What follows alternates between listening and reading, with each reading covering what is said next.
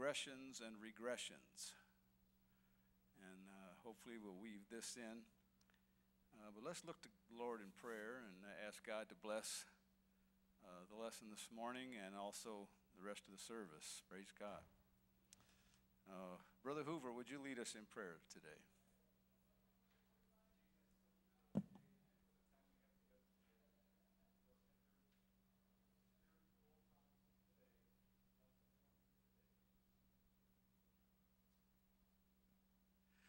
Everybody said amen.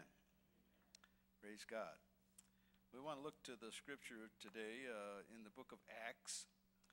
First of all, uh, chapter 4 and verse 13 uh, is kind of a focus verse. It says, Now when they saw the boldness of Peter and John and perceived that they were unlearned and ignorant men, they marveled and they took knowledge of them that they had been with Jesus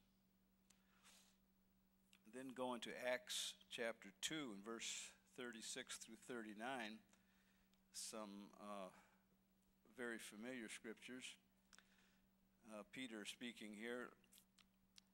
Therefore, let all the house of Israel know assuredly that God hath made that same Jesus, whom you have crucified, both Lord and Christ. Now, when they heard this, they were pricked in their heart and said unto Peter and the rest of the apostles, Men and brethren, what shall we do? Then Peter said unto them, Repent and be baptized, every one of you, in the name of Jesus Christ, for the remission of sins, and you shall receive the gift of the Holy Ghost. For the promise is unto you, and unto your children, and unto all that are afar off, even as many as the Lord our God shall call. Then moving to Acts chapter 4, verses 9 through 14. Uh, this being uh, Peter's response to the Sanhedrin Council when they were called in uh, in questioning of their preaching Jesus in the temple after Peter and John had, uh, through the power of the Holy Ghost, uh, healed the man who had been lame from his uh, from birth. Here's Peter speaking, verse 9. If we this day be examined of the good deed done to the impotent man, by what means he is made whole, be it known unto you all and to all the people of Israel that by the name of Jesus Christ of Nazareth, whom ye crucified, whom God raised from the dead, even by him does this man stand here before you whole. This is the stone which was set at naught of you builders, which has become the head of the corner. Neither is there salvation in any other, for there is none other name under heaven given among men whereby we must be saved. Now, when they saw the boldness of Peter and John and perceived that they were unlearned and ignorant men, they marveled, and they took knowledge of them that they had been with Jesus. And beholding the man which was healed standing with them, they could say nothing against it. And then Hebrews chapter 4 and verse 16 says, Let us therefore come boldly unto the throne of grace, that we may obtain mercy and find grace to help in time of need. I'm not uh, uh, what I would classify as a bold type of person. I'm, I'm generally speaking laid back. Uh, I, I oftentimes find that when I get bold, I get in trouble uh, because it's, uh, well, my dad used to say when we were kids, he'd say, keep your big eyes open, keep your big ears open, and keep your big mouth shut. And uh, I probably am too quiet. There's times when I know that I have uh, uh, passed up opportunities by being a little rest, reticent, you know, to, to come out and, and say what's really on my heart. But uh, I hope to get some of it out today. Praise God.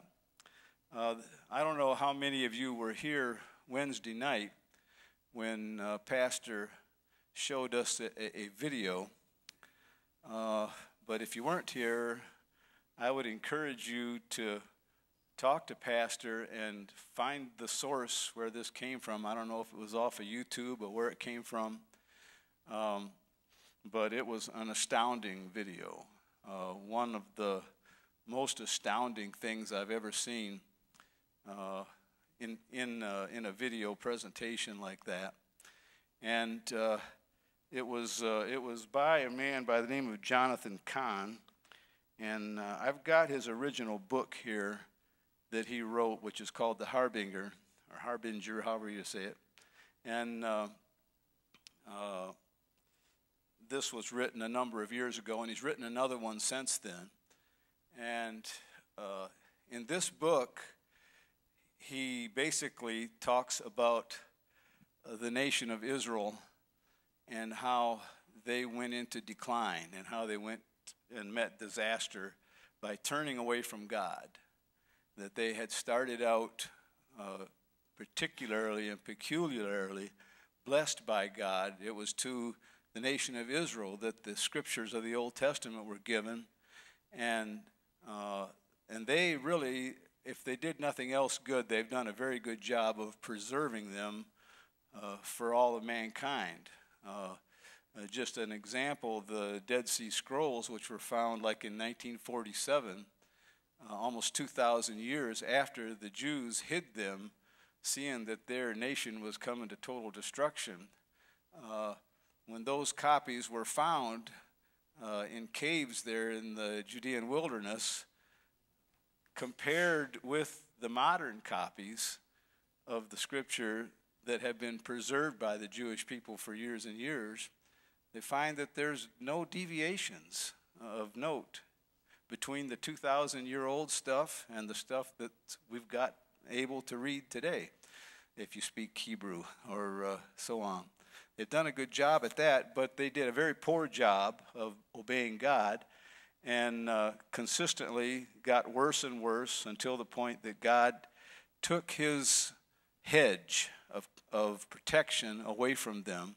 And he did it in a gradual manner, not all of a sudden, but he did it in a gradual manner to the point that finally, when they persisted in worshiping idols and turning away from God, that the nation was destroyed and the people were carried into captivity. And, uh, and he draws a direct connection to the United States. And uh, he says that, uh, uh that the United States is a nation that also was blessed by God from its founding, and that the founding uh, fathers of the United States were extremely committed to the scriptures. Uh, one example uh, would be the Liberty Bell, the famous Liberty Bell. It was actually cast in 1751, about 25 years prior to the War of Independence.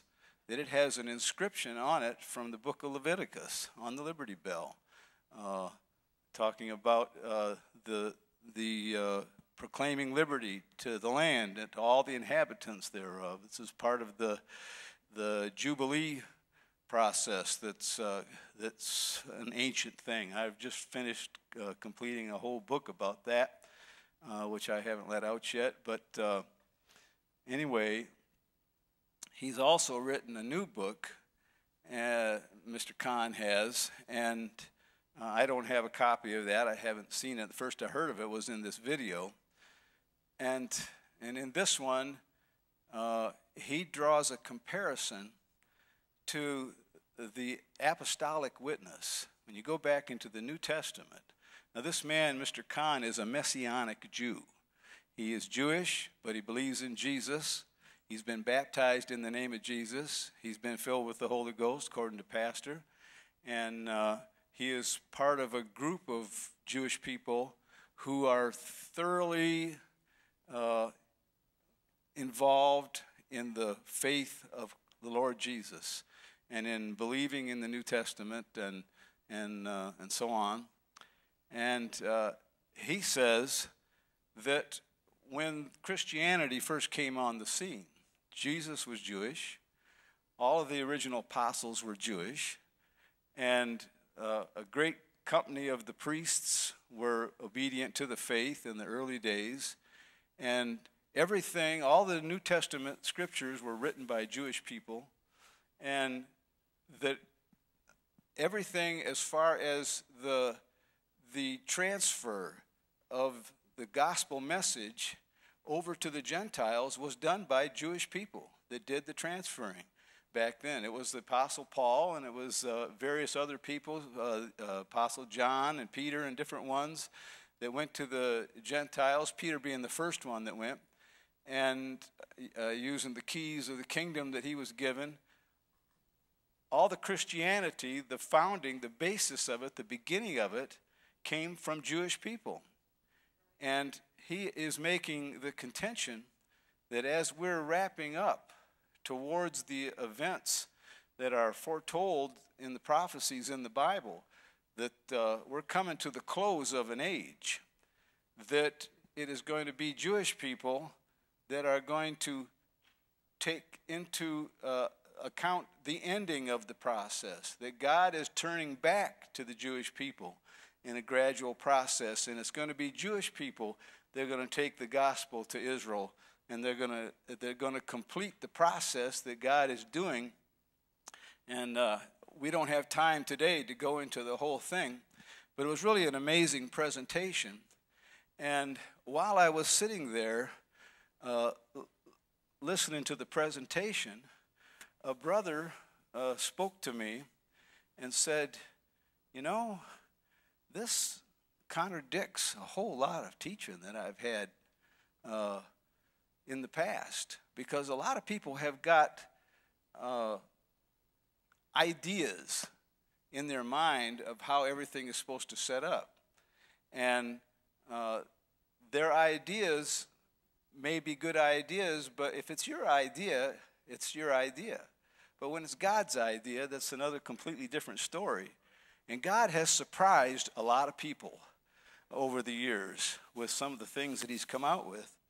And I told him at the time, I said, Brother, you know,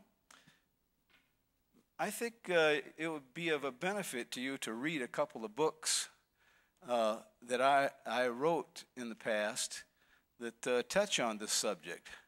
And uh, with Mr. Cahn talking about how the United States is turning away from God, that uh, they recently, uh, it, in the, in the Supreme Court decisions ruling against the Defense of Marriage Act, and in the, uh, uh, in the process of doing that, how they not only uh, said that it was unconstitutional, I don't know which part of the Constitution they read defined that, but they said it was unconstitutional uh, not to allow gay marriage.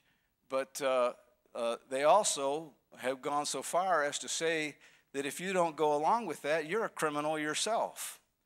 And he said that, that we've reached a, uh, one of these famous tipping points where, you know, it was only a few years ago that uh, it was a very small percentage of Americans that agreed with that prospect of uh, the LGBT uh, system and all this kind of thing and gay marriage. And now they say that, uh, according to polls, that it's crossed over the halfway point that more than half of the people in the United States are now in favor of uh, all this taking place.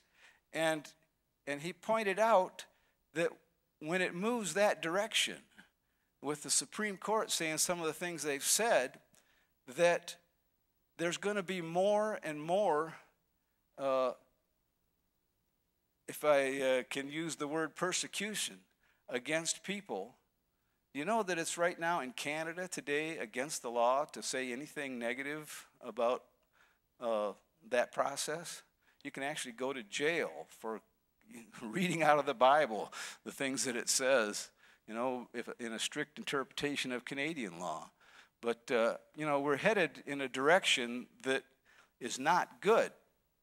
And um, anyway, I, I pointed out to him that I had written a couple of books one of them, uh, I think there's been a lot of copies of that went out here 20 years ago when I wrote this one. Another little horn is a talking. I'm not here to sell books today. I'm not. If you want one, I'm not going to sell you one. I'm, don't get me wrong. I'm just pointing out this book, Another Little Horn, is a book that I wrote 20 years ago, identifying that the United States is not the all wonderful thing that you know that we have held from my childhood. You know, the USA and wave the flag and and uh, and so on. I mean, I count myself privileged to be an American, but the things that the United States is doing, the direction that they're going. I mean, you go back to 1954 when they banned God out of the schools, and they go back to the 70s when they brought in abortion,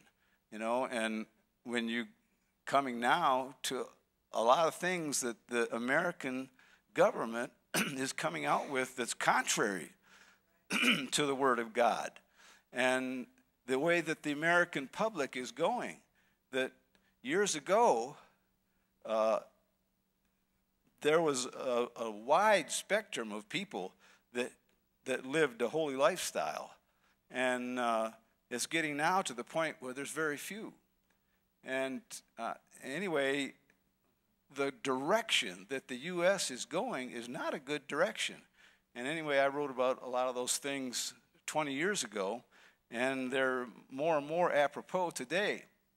And then I also told him about another book that I wrote about nine years ago, and uh, it's called The Power of a Violent Sacrifice. And this is basically a story about the life of Stephen and, uh, and how he was uh, stoned to death.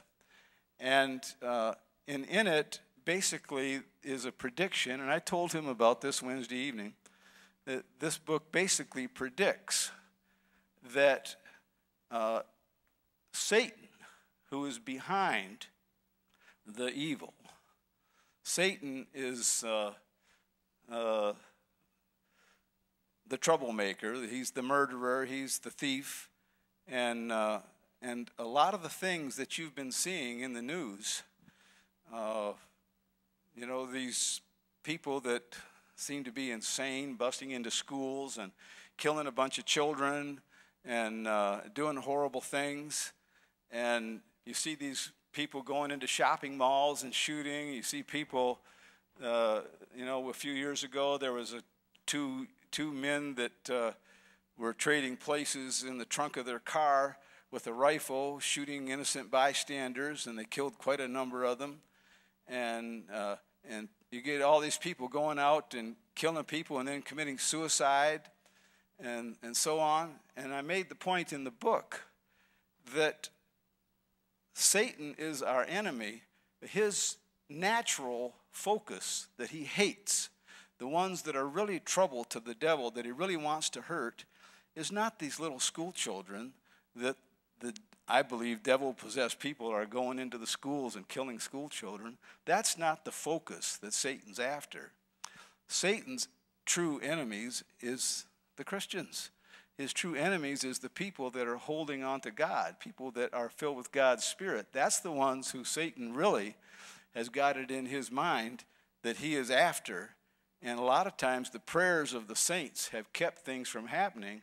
But I told him, and I predicted in this book few years ago, that this is the future, what is going to happen. When I wrote the book, at that time, there were 10 Baptist churches in the, in the South, in the Bible Belt of the South, that were burned in two, two weeks' time by some people who were later caught for doing it. And uh, shortly after I wrote the book, there was a man who I was uh, friends with, and uh, I had done work with him down south.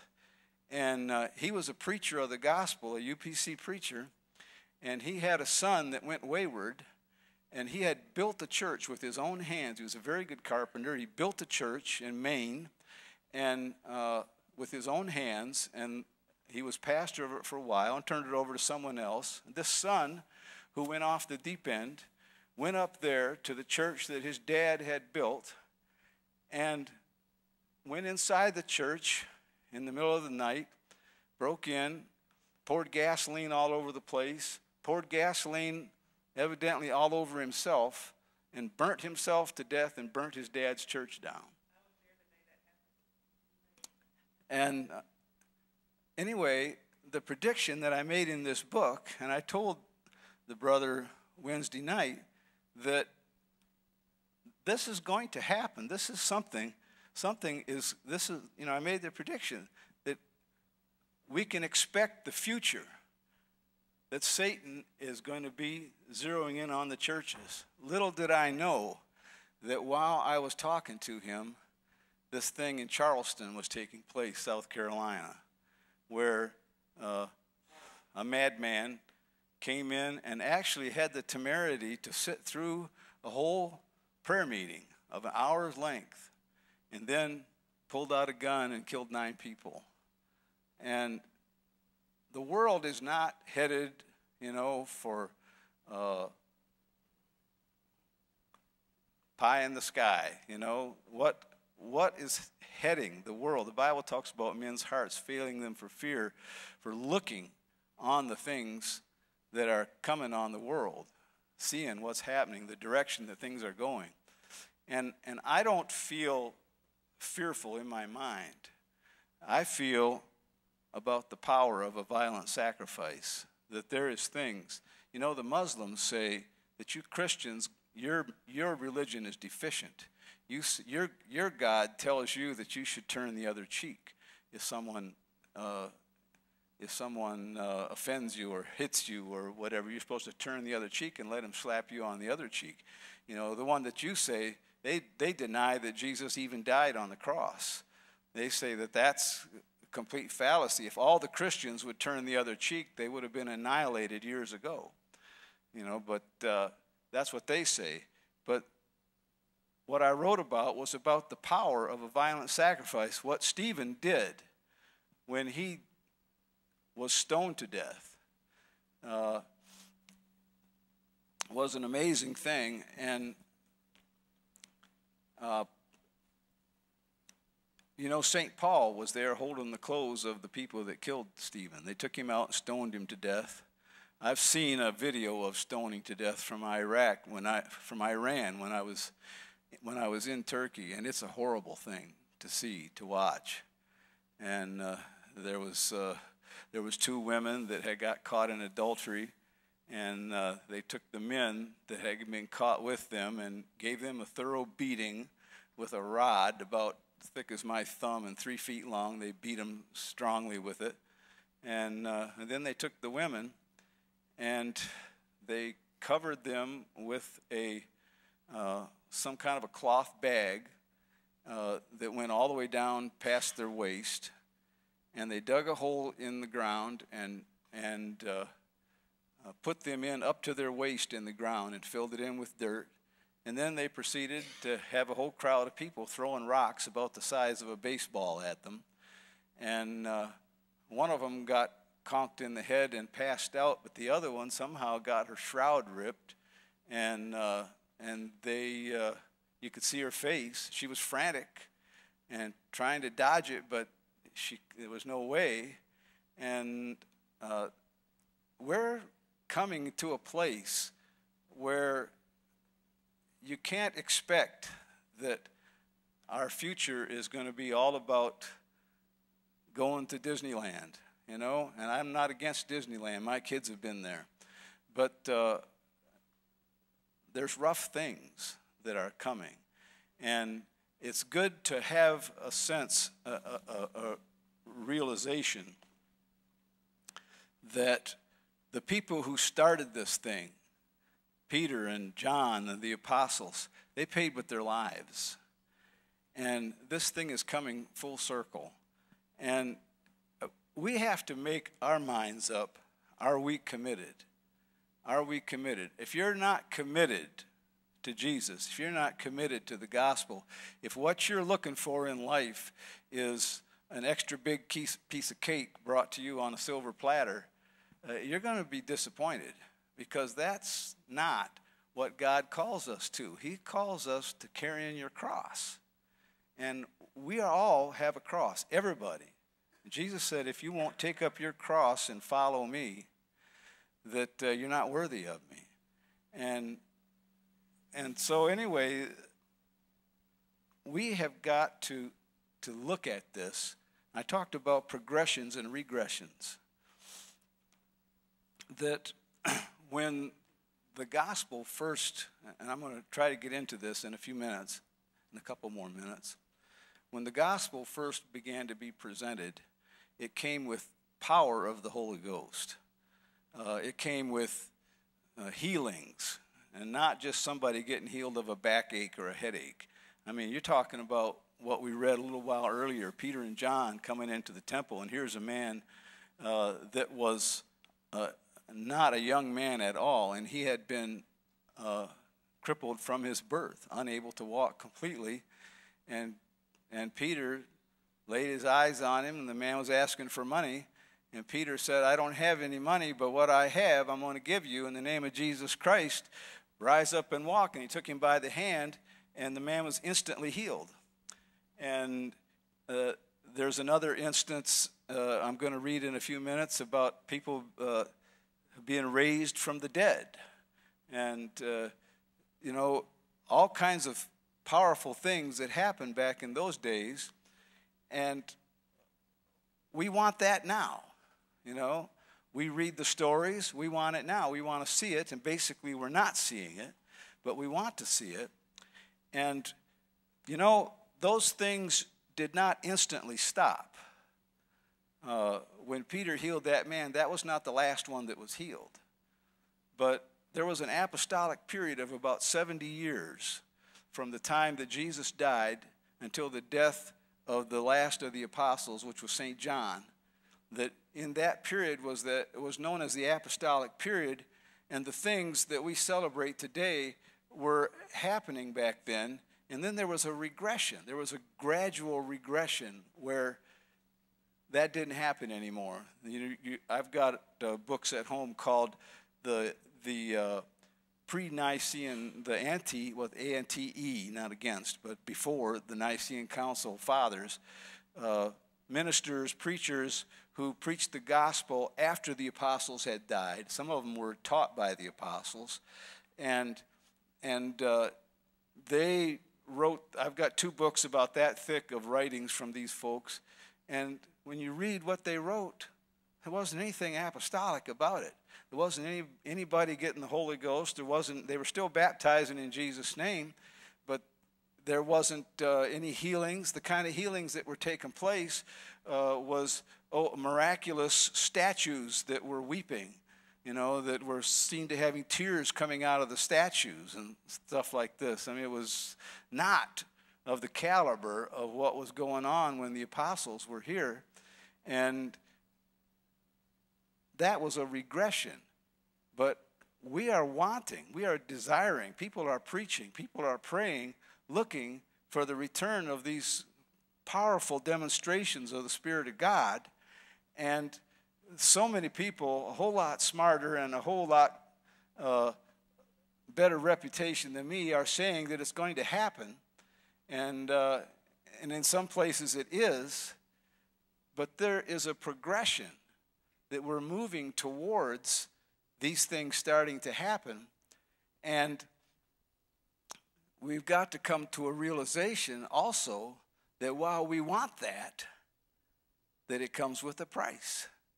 The apostles paid dearly uh, in the face of the government and in the face of people that hated them. They paid dearly while God showered blessings on them and power on them and gave them authority uh, in these ways. And as we're getting closer and closer to the time when Jesus is going to return, uh, I, you know, I expect that we are going to see if if you're going to get the one, you're going to get the other as well.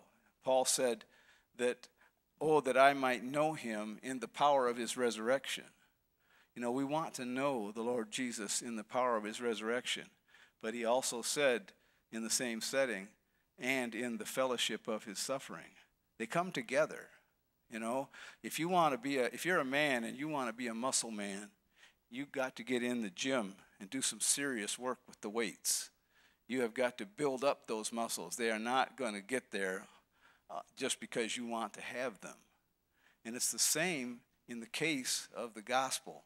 You know, if we are truly looking for God to empower us, it's going to come with a price. And, And it's a good thing that we should realize that. And uh, because if you if you're if all you're looking for is God to, uh, as one person said, I would believe him if he would make a large deposit in a in a numbered Swiss bank account in my name, then I would really believe God, you know. If that's all you're looking for, you know, is for God to let you drive a Lamborghini, if all you're looking for is for God to put a million bucks in your bank account, if all you're looking for is for you to have great power, uh, I knew a guy one time who went on a 40 day fast, and uh, the pastor asked him, What are you on a 40 day fast for? You know, you're you're down on your bed now, and the guy had already been something like 20 days on it. And he said, You can't even get out of bed at this point. How are you going to get another 40 days, another 20 days? What are you fasting for? He said, I'm fasting so that anybody I lay hands on will be healed, and anybody that I lay hands on will get the Holy Ghost immediately. And uh, the pastor told him, You better start eating because you're going to lay here and die. You just want. You just want for you. You want to have the pride of standing up there and being important and everybody looking at you. God's not going to give it to you like that, you know. And and we have got to we have got to realize that if we want the power of His resurrection, we're going to also have to have the fellowship of His suffering. It comes together in the same verse. It's in the same chapter. It's it came from the same messenger. And you know, are you willing to pay the price? Are you, are you counting the cost? You know, Jesus said, you know, that, that if you put your hand to the plow and then you turn back, you're not worthy. You're not worthy of him. You know, it's one thing to start out, you know, to say, yes, I want it. But uh, it's another thing entirely to complete the process. Amen. To come to the end of the day when God can look to you and say, Well done, thou good and faithful servant. You know, that's what we ought to be after, is, Amen, doing the will of God. Praise the Lord. Now, let's get back to the lesson. Hallelujah. Well, I guess we were on the lesson. Okay. Let's look in Romans chapter 1 and verse 16. Here's the Apostle Paul saying, For I am not ashamed of the gospel of Christ, for it is the power of God unto salvation to everyone that believeth, to the Jew first, and also to the Greek. You notice in, in this is King James, but it says believeth. Now, a lot of the modern translations say believes, but that believeth, ETH, is the present perfect tense. And what it means is that he believes and he continues to believe. You know, it's not enough just to make a one statement that I believe and, and there you are, you know, but you've got to keep the faith that he who endures to the end, the same shall be saved. And he said, I'm not ashamed of the gospel. Well, what is the gospel? In one sense, we look at the four gospels, uh, known by that name, that uh, Matthew, Mark, Luke, and John wrote those four books that tell the story of Jesus, basically, uh, from four different perspectives. And, and in one sense, that's the gospel. But there is one place in the Bible that actually gives a definition of what the gospel is. And, uh, and that is found in 1 Corinthians chapter 15.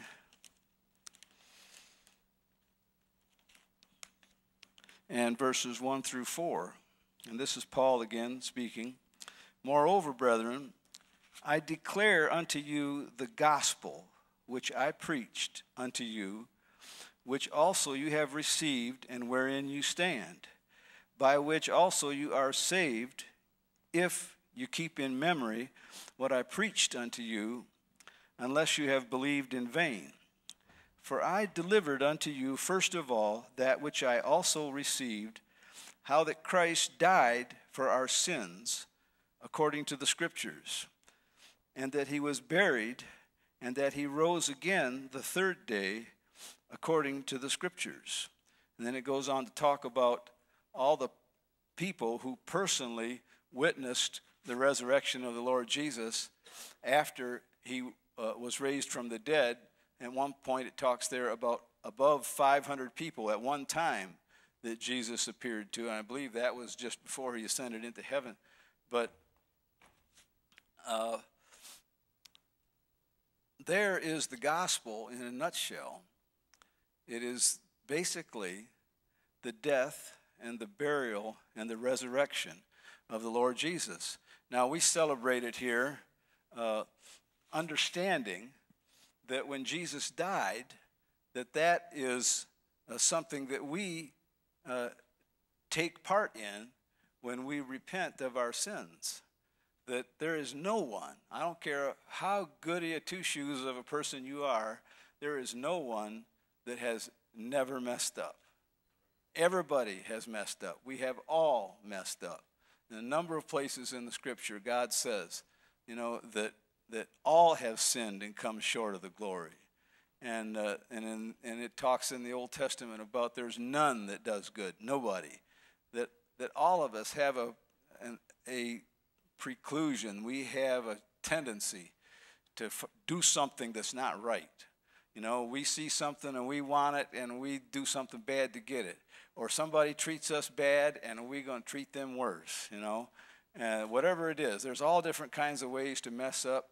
And, and uh, all of us have done it at some point in time. And everybody has got to come to the place where they realize that they're a sinner and that they've got to be sorry for it. That even the courts of law are looking for that out of criminals. They want you to be sorry. And if you'll be sorry that you did something bad, they'll likely give you a lesser punishment. But God, uh, in His goodness, gives us that opportunity to share in His death by dying out to that rotten instinct that we have inside of us by telling God we're sorry. We got to tell Him. Amen.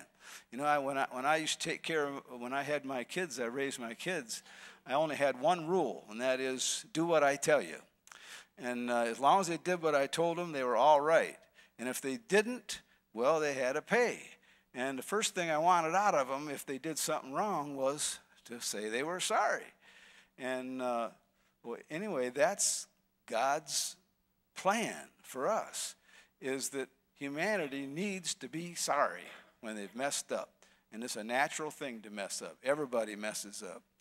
And then we celebrate further uh, God's burial. The Lord Jesus was buried after he died, they put him in the tomb. And we celebrate that by going up and getting baptized. There's a lot of different ways you could get baptized in that pool up there. I've baptized people in the Mediterranean, Mediterranean Sea. And uh, I've known people got baptized in a bathtub. And there's a lot of different places you could go, but uh, basically, when you get buried, they don't just take you out here to Whitechapel Cemetery and sprinkle some dirt on you. They put you in the ground. And uh, that's what getting buried is all about. And we are buried with the Lord in baptism. That's what we do. And then we rise with him. We take part in his resurrection. He talks about rise to walk in newness of life. Peter said, uh, on the day of Pentecost, he said, Repent and be baptized, every one of you, in the name of the Lord Jesus Christ for the remission of sins, and you shall receive the gift of the Holy Ghost. When, when God's Spirit comes inside of you, it resurrects your life. It's a, it's a form of resurrection, and that's what the gospel is all about. It's about the death, burial, and resurrection of the Lord Jesus. And that's something we got to believe in. Praise God. Can you say amen? amen? It's true anyway. Praise God.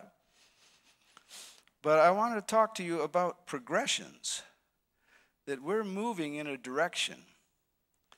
Uh, you know, there was, we're, we're moving in a positive direction. A progression is moving onward, positive, uphill. Uh, when you look at history, you go back and you see people receiving the Holy Ghost and, uh, and so on back in the days of the Bible, it talks about it. And you look in history, and that thing gradually waned. And, uh, you know, the, the Roman government was hard on persecution against Christians. Just being found to be a Christian, they would take you into the, into the Colosseum or one of the, the arenas, and they would uh, force you to make an offering to Caesar, uh, who they claimed was a god. And you had to offer incense on the altar to Caesar, and if you wouldn't do it, they would kill you. And uh, and they uh, some there was two different emperors of the Romans that made a claim that they had completely wiped out the Christian religion, and there was none of them left. But uh, it wasn't as easy as they thought, and it kept coming back, and it came to the point that actually one of the Roman emperors, Constantine, converted to being a Christian. But by that time, Christianity was not what it used to be. And uh, a lot of the things that we read about in the book of Acts weren't happening anymore. And thousands of years went by. And you can read in history, there are a few examples. Uh, there was some uh, people called the little children of Cévennes back about the 15 1400s in France that uh, those people were receiving the Holy Ghost and the king of France was killing them uh, because they weren't uh, going along with his idea of what it was to be a Christian. And uh, the adults were basically in serious trouble. And what happened was little children little seven, eight, nine year old children started receiving the Holy Ghost and speaking in tongues. And, uh, and the king was hard pressed to kill the little children. And uh, they called them little prophets, and they would get up and prophesy, little, little children.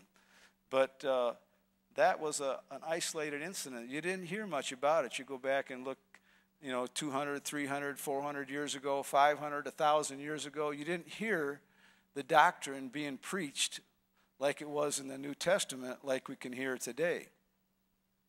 And but there was a gradual progression moving back out of the dark ages, moving back to to uh, uh, God's ways. Now there are some other instances that you can read about in history. There was a man by the name of of uh, John Wesley, who was the founder of the Methodist Church, and he had a brother named Charles. And uh, they were both given to praying. They prayed hours and hours every day. And, uh, and they said that Charles, John's brother, uh, spoke ecstatic utterances, they called it. He said things he didn't understand and nobody else understood that God had given him that. But it was an isolated thing until about 120 years ago, 115 years ago, it started happening across the world on, on a uh, uh, increasing, an increasing uh, uh, amount of people that started receiving the Holy Ghost, speaking in tongues, the way that it was seen back in the book of Acts. And it has gradually increased from then. But even so,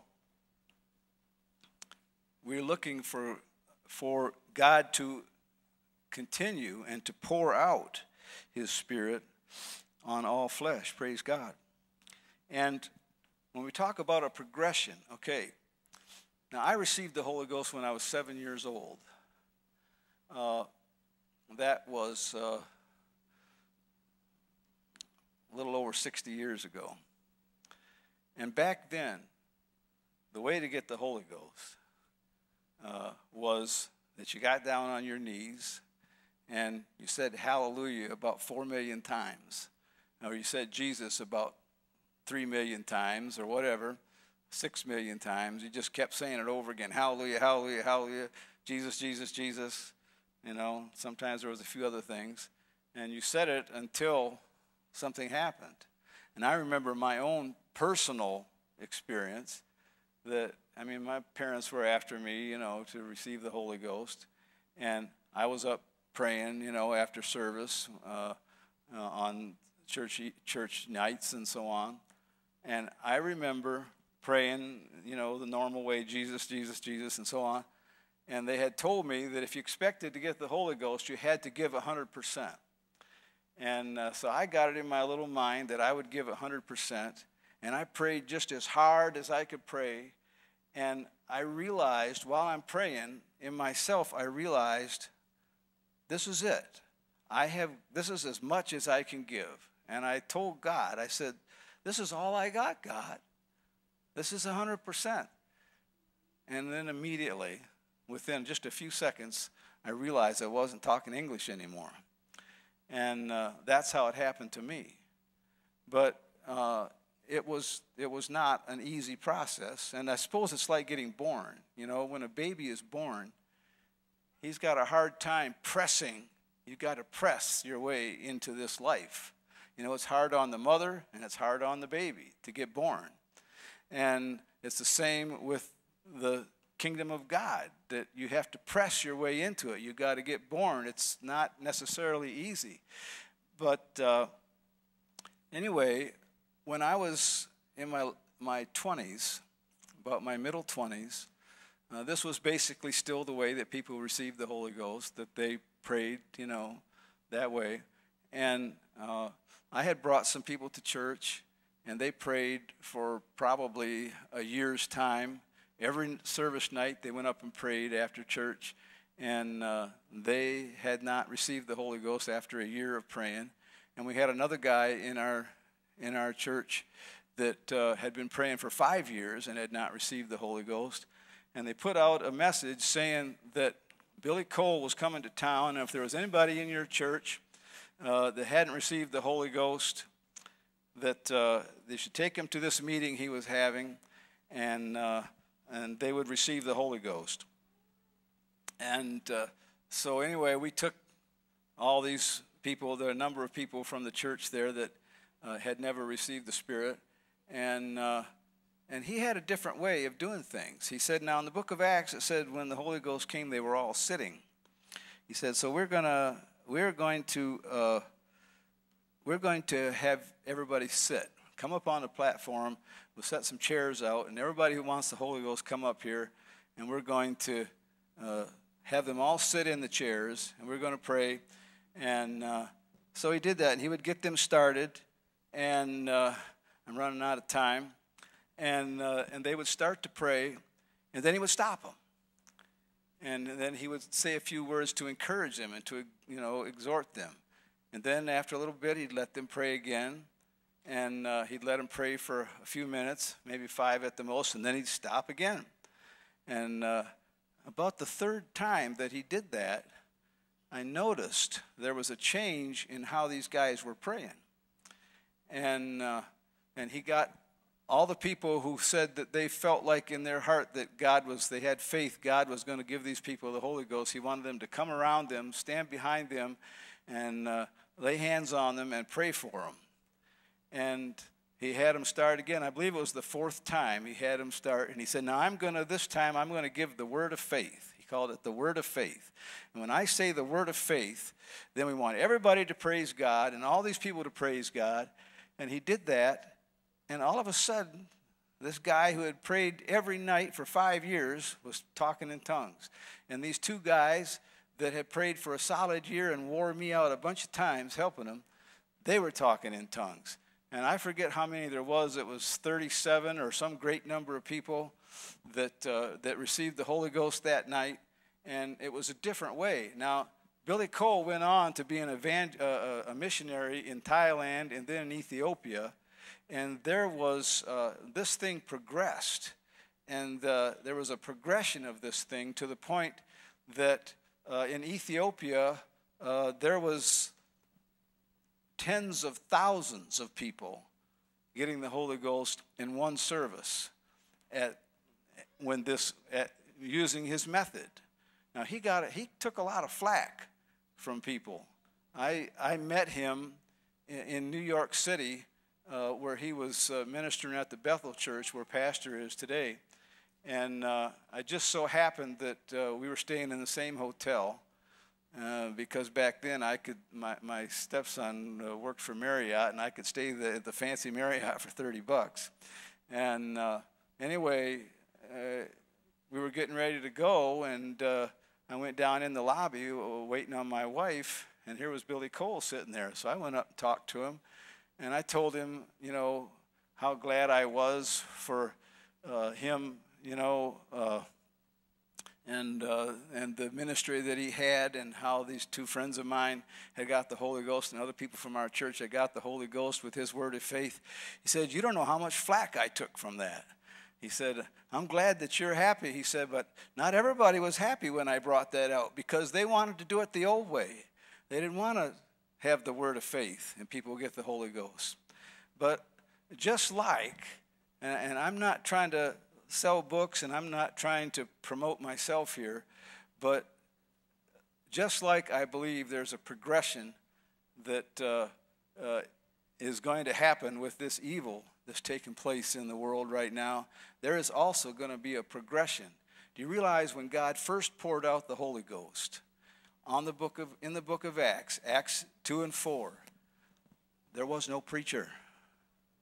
They were all sitting there in one accord, and they had been praying, but there was no preacher preaching.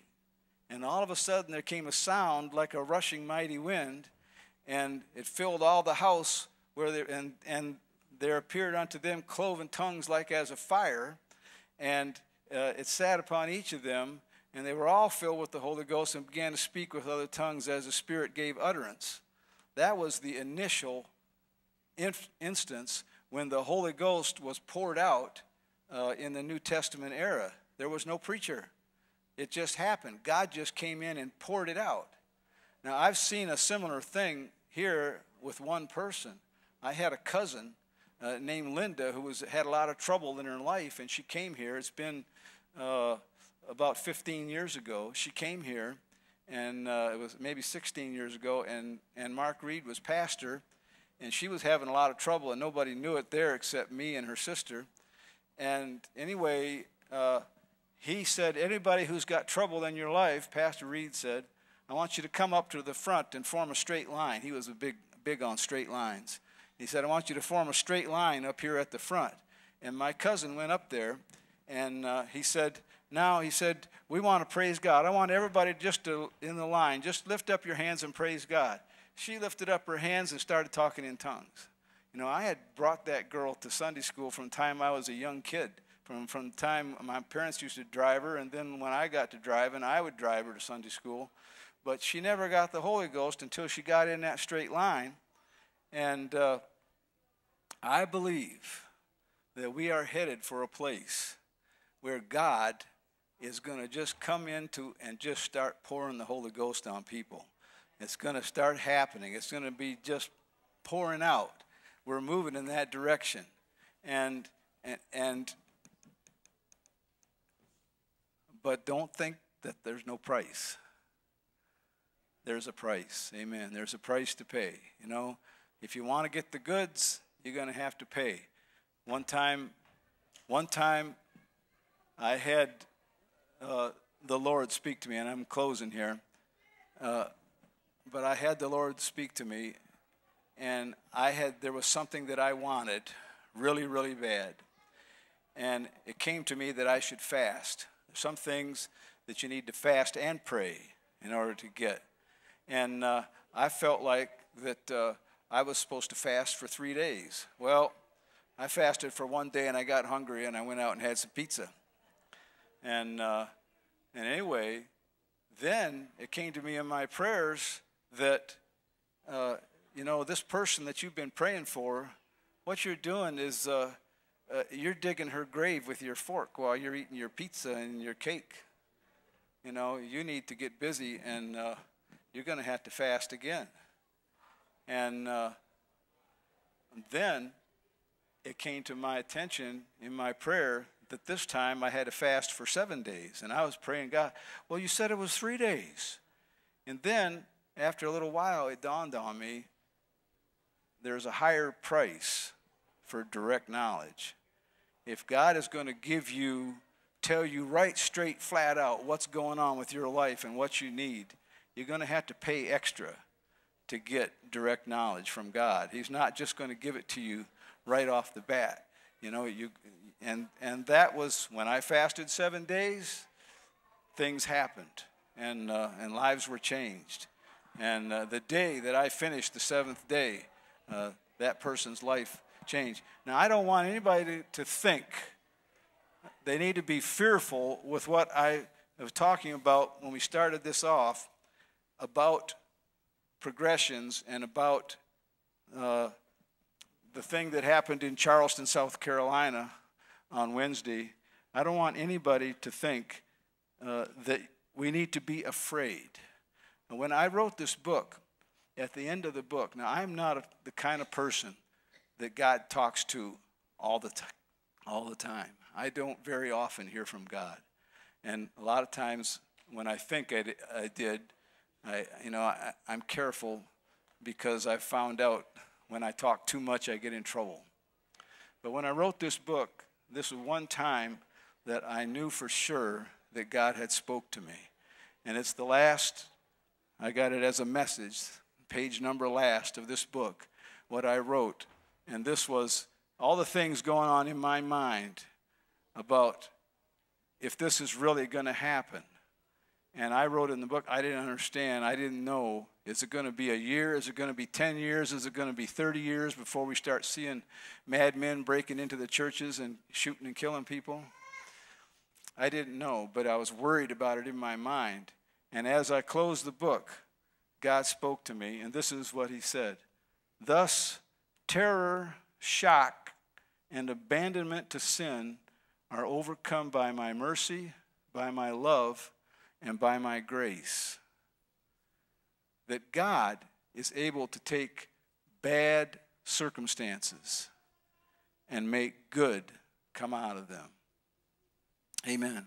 You know, there's 30,000 people or so get killed in highway traffic accidents every year in the United States. It's bad business, you know, and all of us are going to die if God doesn't come before our time comes up. But somehow or another, we've got to get past fear and we've got to dedicate our hearts and our souls toward what it is that God has for us as, as a person, as an individual. Amen. That, that God has a plan. Amen. And it's going to happen. God's will is going to be done. Amen. And every one of us has got a purpose in our life. God has something He wants you to do. In a general way, it's love the Lord your God with all your heart, your soul, your mind, and your strength, and your neighbor as yourself. But it's actually more specific than that. God has a specific plan for you. How could it possibly be in all the millions of people, billions of people in the world, that God knows you individually? But He does. And He says, Not one sparrow falls to the ground without my Father. And God has a plan for you. He's got something He wants you to accomplish in your life. You know, Anna uh, didn't accomplish God's purpose for her life until the day that she saw him in the temple when his mother brought him in. Uh, his mother and father, mother and Joseph brought him in to the temple. And, and that was the day, at age 80, that she accomplished her life when she went out and told everybody she could find that the Messiah is here and, and spoke to him, to all the, about him, to all the people in Jerusalem. And so it doesn't matter how old you are, you can still accomplish your purpose or more completely accomplish your purpose in God. But it takes commitment. We've got to commit. Amen. We've got to commit to God. Amen. That it's, it's yes, the power of his resurrection and the fellowship of his suffering. Sometimes we got to be bold, but we always need to be true to God. Amen. Can you say, Praise the Lord?